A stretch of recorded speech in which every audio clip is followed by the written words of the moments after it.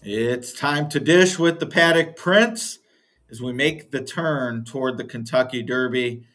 Gets pretty real now going forward, David. 100 to the winter point races, three of them this weekend, another 50 jobber on Sunday. All told, that's seven winning your in spots basically. Winner and runner up on Saturday, winner on Sunday in the Sunland Derby. Sort of a, a moving weekend and uh, pedal to the metal from here on out, I'd say. Yeah, it's getting to the exciting part. It's kind of separation time for a lot of horses. So, you know, horses that don't have points are going to have to pick up points this weekend, obviously. And then horses like Instant Coffee and some horses that already have points looking to build on their resume. Like you said, you got Louisiana, you got the Jeff Ruby Stake Stake, and then Sunland Park, which I completely forgot about, is on Sunday. is, that, is that a fifty pointer only? You said? Yeah, fifty. So uh, need to need to win basically, unless uh, there is a horse in there that won the prep, which I think was worth twenty. So maybe a second place finish might be enough for him. But uh, before we look at the Louisiana Derby, which did some of us a solid by drawing so early, let's take another look at your top 10, uh, which is from last week, uh, admittedly, but didn't have any prep races this weekend. So, not a lot of changes, obviously. And you and I agree. We actually have the same exact top three. And I believe our top six is the same with maybe a, a little. Uh, I think I have Hit Show one higher than Geaux Rocket Ride. Uh, but Instant Coffee is is your highest listed on there in the Louisiana Derby, but we see Kingsbarn as well. And uh, I think that I've heard some poo pooing of the group, but I think especially this top, maybe six to eight, is not bad. No, I don't think it's that bad. I just think a lot of horses this year haven't run the crazy figures yet. So it's not, people aren't, you know, the Arabian Knights of the world aren't on the trail anymore. So Forte is really the only horse I feel like that has a lot of steam at this point. So there's a lot of, two to be determined in some of these races. Like I said last week on the show, there's a lot of there's not much, there's a lot of plotters and not a lot of speed in the, so in these races so far. So if a horse like Geaux Rocket Ride or even Kingsbarns this weekend can show that I know Geaux Rocket Ride's running the Santa Anita Derby, but if a horse can show that they have some early speed and keep it going, it can make it the Derby even a little more interesting because it just seems like everybody's a plotter at this point. I don't know, or a closer, should I say? I shouldn't call them a plotter, closer type horses. Well, that's a, a perfect segue because the Louisiana Derby has I don't I mean I don't want to say zero speed. Someone's going to be on the lead and there are some pace ratings that are, you know, I would say typical of a decent pace, but looking at the Louisiana Derby, this is from Brisnet, bear with me. I know you're a Beyer guy, but just to make the point that somewhat middle column run style, E is for the early pace type horses. Not a single horse has an E designation. And the PTS column is for Quirin speed points, which is zero to eight early speed. No sevens or eight. Only disarm from the Asmussen Barnes of six. Everyone else less than that. There's just no speed in this Louisiana Derby. No, so I glanced at the Timeform US um, speed uh, pace projector, and you would have to think based on looking at that in the form that Kings Kingsbarn's going to go, and then Jace's Road's probably going to go. I feel like Cox is going to send Jace's Road to try to get position. And if Kings Kingsbarn's breaks well, I would assume he's on the lead, and J- unless Jace's Road is just hell bent on getting it, because Kings Kingsbarn's shown the ability to set off. But like you said, I don't. Everybody in that race, they all look the exact same to me outside of Kings Kingsbarn's. A bunch of horses who have close from off the pace, horses that need to step up. Obviously, Kingsbarn needs to step up, but like even like Instant Coffee, he ran a good race last time out, but I'm not playing a horse like that at two to one in a race like this. No, I'm I'm not either. And here uh, are my odds. Uh, these are my odds, my personal like the price I would want to bet the horse. Uh, instant coffee. I, I do have as the most likely winner, uh, having the I guess not really the prep win. It was two races back in the Lecomte, but a win over the track. But seven to two, we're not going to get based on the morning line, which, which I thought was a little light. I was surprised that they made him that low. But I mean, even if he's three to one, I'm just not excited about betting this horse. Tapit's Conquest, uh, perhaps a mulligan. 10 to 1 on the morning line. I, I, thought that was too high. Now, again, this isn't my morning line. I'm not saying Tapit's Conquest is going to be 6 to 1. I'm saying I think that'd be a fair price. So if he's 10 to 1, I'd be pretty excited. He was way, way, way too far back uh, in the Risen Star. And even though that was a fast pace and closers did well, I just didn't really see that as his game and was surprised to see that he was there in the early stages. He gets Manny Franco. I'm definitely interested in Tapit's conquest here. Yeah, so if you look at the figures from the Risen Star in that allowance race on um, February 18th, which was on Risen Star Day, that number actually came back faster than the Risen Star yes, itself. It did. So it's going to be interesting to see, like the seven horse Cagliostro and the ten Dennington, who got fast, ran in the same race, got faster numbers than the Risen Star. It's going to be interesting to see how they bet those two races com- compared to each other on that day. Obviously, those two aren't stakes face, but they did run faster than the Risen Star. And I thought the Risen Star was a complete eyesore, in my opinion. I don't like anybody out of there. Maybe Tapit's Conquest can he's bred for the distance. And it is interesting. I didn't look at the whole card yet, but is that Manny Franco's only mount of the day? Because I don't. So he's coming for one mount. I know it's a Derby prep, but it's interesting that he's coming to ride that horse from New York. I know Cox uses him a lot in New York. Yeah, and there there was some talk of, about him rerouting. So I don't think the nine post is really that bad anyway, but we'll see. So stay tuned for that. He would definitely be one I'd be keen on, on watching the board. And you mentioned uh, number seven and number 10 coming out of that allowance race. Uh, they're my third and fourth choices, respectively. I'm a little nervous, and we've talked about this before, David. Uh, both of their best performances came with the Lasix on. Now Lasix off here. I made Dennington eight to one instead of Caglius, or I made him a little uh, lower because I do like Gunrunner a little better than Upstart uh, in terms of this mile 316th distance. Uh, so that was a, a, positive, I thought, and that is important to note. They are going nine and a half furlongs here, so uh, not for the faint of heart distance wise. So I, I, think Dennington has some upside. That was a quick race, though, potential bounce candidate, but I, I think he'll end up being an okay price. Definitely one of the ones I'm expecting to use. Yeah, Dennington's ran a lot for a horse. I mean, he started his first race was in August. He's already ran eight times. Where a horse like Cagliostro, I think I'm saying that name right, is running third off the layoff. Has only ran three times, so there's maybe more upside for him. Um, he's also going to be more forward than Dennington. I think I saw a morning line on Twitter, and I'm not a morning line maker, but I think there's about a zero percent chance Kingsbarns is not the second choice in this race. I find it hard to believe that Sun Thunder and some of these horses are going to be lower than him but I guess we'll see. Uh, yeah, I would. I would think with Pletcher shipping in, and that's actually a reason that Cagliostro and Dennington appeal to me a little bit. Uh, certainly nothing against Cherie DeVaux or Kenny McPeek, yeah. but let's be honest, if Brad Cox had unleashed an allowance horse who ran that kind of number in an allowance race to a stakes, we'd be talking about it like, oh, another another Derby contender for Brad. Yeah. And because it's you know Kenny and Cherie, a little less enthusiasm, which helps the price. And I'm gonna I'm gonna use that public sentiment to hopefully make some money if they run well. Uh, so you and I agree, instant coffee not worth a bet.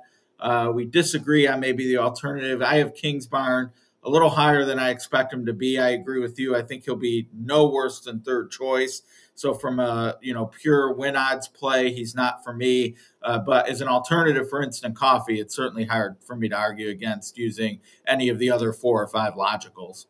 Yeah, and I wonder with disarm, he's not projected to be on the lead early, but I wonder if Rosario and Asmussen are kind of kind of he's ran a mile last time and he's stretching out. He does have some somewhat. He's 93 early pace figure, so he's not way off. I wonder if they're going to use him early as well because Rosario is a very good speed rider when he sends. So I'm not saying they're going to dead send with him, but I think he's another horse who can get position early. But I think the whole key to this race is the pace because pace makes the race, and there's one and a half speed horses on paper. So we'll see what happens early in this race. But I yeah, think, in my opinion, go ahead. Yeah, I was. I definitely found. I mentioned that nine and a half furlong distance. Uh, you know, the, the Derby is very unique, and, and Preakness and Belmont, but the longer they go does not benefit closers, which uh, you know a lot of people. I still hear it. You'd think that'd be dispelled by now. Um, so pace is a big weapon here. Uh, if if you're able to go one thirteen in a nine and a half furlong race, that might be it. So yeah, it's it's going to be interesting to see what they do early. No, I completely agree. And I haven't fully looked at all the cards, but I'm, i know this is going to come to a shock to some people. But I'm gonna like. I think I'm gonna like Kingsbarns in the in the in the in the multi rager races. I'm not saying he's a um, you know a win bet at four to one or whatever he is. I'm just saying in a multi race bet. I think he's going to probably be a lean for me, but I have to go through the rest of the card. Yeah, I think uh, you know with with twelve horses, a lot of people like coverage, and it's going to be the last leg, and a lot of multi race wagers. Is that what it that. is? Is it going to be the last leg? I was wondering. Well, I, I, think they'll have a pick five that ends in race fifteen as well. So in that regard, it'll be the third. It'll be the second leg of that pick five. Okay. But there will be I an figured. all stakes pick five. That's what I figured. That, that, ends in the Louisiana Derby and the all stakes. Uh, what are they calling it? Bluegrass to the Bayou pick five also ends with the Louisiana Derby. So uh, an important race for sure in the Maltese. We're doing this on Monday. The UAE Derby just drew. I'm not very interested in that. The Ruby will draw on Tuesday. Uh, and I mentioned those not because you or I have any idea who, who we'd pick in either of those races, but big weekend, as we said. What is a looking ahead to the Kentucky Derby? What are things you would see this week where you would say that horse has, I'm out for the Derby? And um, I don't mean that um, they finished last. Obviously, that's a, an X, but what type of decent, okay performance do other people like that you find yourself thinking, yeah, that wasn't for me? Well, I want to. I don't know. It's a good question. I want to see the like the Louisiana Derby talking about the pace. I want to see like if Kingsbarns goes wire to wire and he gets no pace pressure. I'm gonna be like, eh, I don't know about that horse because you're gonna have horses like Geaux Rocket Ride and some other speed horses probably in the Derby. But like if let's say Kingsbarn gets an easy lead and Instant Coffee runs him down from way back, like you might, might want to upgrade that performance. Um, you know, if you go to the Rubies, I don't ever know what to do with that race. I know yeah. it, it was the Derby winner last year, so people are probably gonna, pick. Say what? And my Derby um, pick. He's running this weekend, and he had a bad excuse last time. He was on the inside of that fairgrounds turf yeah, where he wanted I'm no running part him of. Back. But it's hard to figure out where you want to be on the fairgrounds turf. Right. So I don't.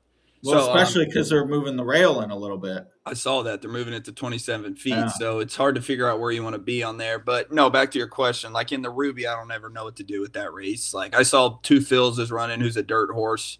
I saw Major Dude, who's mostly a turf horse for pleasure, running. What's the prep for the um Ruby? I saw those two horses are coming back to run. So. Yeah, and uh, the winner uh, actually got a, a, fast number, and I'm drawing a blank on his name, but um, congruent.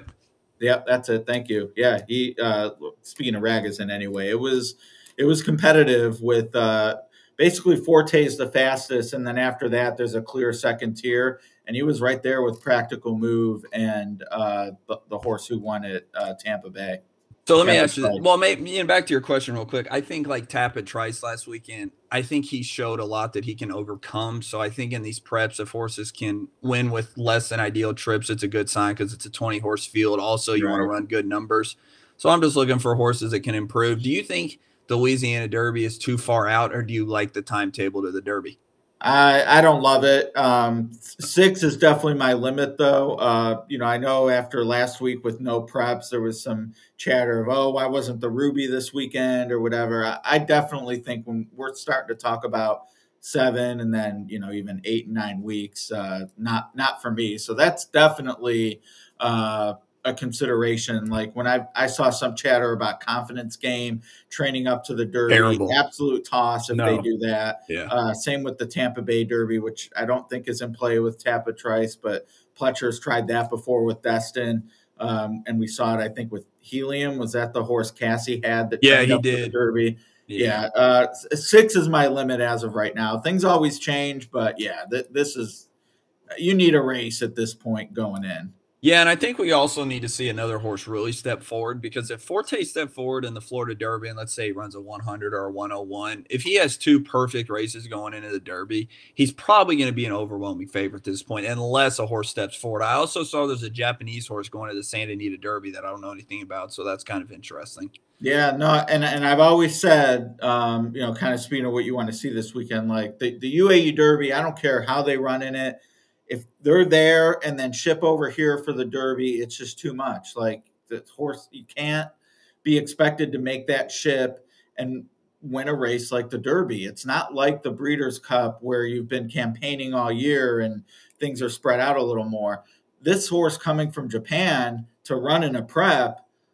I mean, if he runs well, I, would have to think about it. I mean, you would see how he stacks up and what price he's going to be, which, given the mm-hmm. story and the connections would probably be over bet. But it'd be great to see. And I, I think that's the way you have to do it. I'm shocked Aidan O'Brien has not tried it yet. I, I, yeah. I do not understand why he's going to UAE. It's not like, I mean, he ships over here all the time from Ireland the day before the race. Like they have the best air travel in the world. Uh, it's just not going to work from UAE. So I, I, hope whoever wins is nominated and he runs off the screen and people want to bet again, like Crown Pride and that other horse who had no chance because just it can't be done. No, and I it's it is. I think that's one of the only preps over there. I mean, I know you have some twenty pointers in England or Europe, but um, I think it's interesting they don't ship over too because the purses are so big. Like in a million dollar grade one or 750 so the money's good and, yeah. and you would get your horse acclimated here. You wouldn't have to ship over the last week or two before the derby. They're here. So i guess japan's going to be the first one. It looks like they're going to start shipping horses over and maybe they'll start a new trend because i think at this point outside of the first couple i think the derby this year field is hunting for some new horses unless somebody like instant coffee or kingsbarns really steps forward this weekend. Right. Yeah i would say uh, either of those two. Maybe tapit's conquest uh, that's your guy.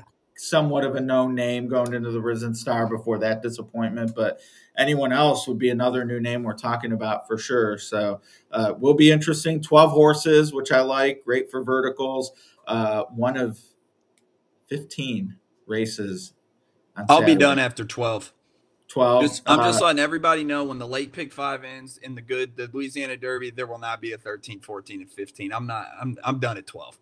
No, so the sheet will not have races. No. Not even a pick five for race eleven. No, if they because I, I, I highly doubt people are going to keep going after race twelve because usually these days they put the big race as the last race and it's over. Then I looked and it was like three more races after, so the card's yeah. like twenty two hours total now. So I think after the after the Louisiana Derby, everybody I'm done. Include I'm going to be done for that place at Air Fairgrounds at least. Fair enough. Well, we will certainly look forward to the first 12 races selections uh, at the paddock prince and guessing gulfstream will be the other? Yeah well no we have gulfstream who's turfway? I don't know i gotta look I got to think about it. I, I I might do a late pick five there, like some there write up on the late pick five. But there, well, if you do the late pick five, that'll cover the Bayou Bluegrass. That's what I was thinking. Too. That's what I was thinking. Because Gulfstream has twelve races, Turfway has twelve races, the Fairgrounds has fifteen races. So I don't know if people want thirty nine races. So we'll see what happens.